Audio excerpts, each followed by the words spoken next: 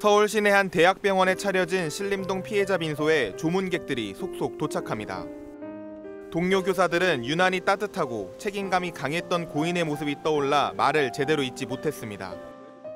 정말 많이 사랑을 받았던 언니였고 힘든 일을 안 하려고 할 때 언니는 이제 도맡아 하려고 굉장히 열심히 고인의 대학 동기는 여전히 놀란 가슴을 진정시키지 못했습니다. 단톡방에 있어서 거의 매일 연락을 하는데 사건 당일에 이제 한 친구가 연락이 안 된다고 다른 이제 집에도 가고 그러는 졸업생과 학부모들도 마지막 인사를 건네러 찾아왔습니다. 문제아들 있으면 애를 바른 길을 운동하시려고 많이 애쓰셨어요. 학부모인 저도 느껴진 이 상황이 믿기지 않는다는 지인은 생업을 미뤄두고 빈소로 달려왔습니다. 지금 체포하다가 지금 일단 저걸로 온 거야. 생각도 못했죠. 너무 마음이 아파요.